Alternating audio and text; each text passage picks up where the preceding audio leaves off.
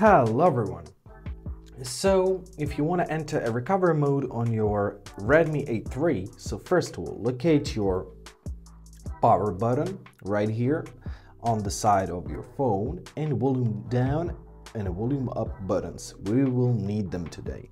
So first of all, let's turn off our phone. So simply hold your power button, summon this power off menu and choose your power off option.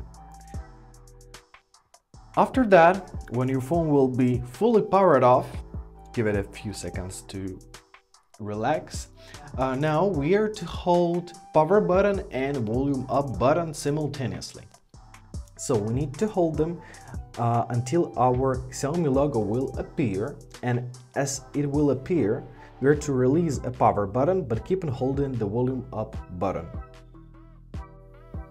Alright, now we've got this no command menu which is a good sign we need this menu.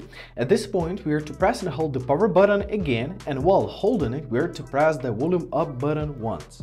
Let's do this. So hold your power button and press your volume up button and there we are. Now we entered in our uh, recovery mode. So you can navigate through the menu using the volume down and volume up buttons and select uh, the option by pressing the power button. So just like this, we can navigate through it. You can do a lot of things here. You can reboot your system, reboot to bootloader, enter fastboot mode, wipe data or do factory reset and so on and so on.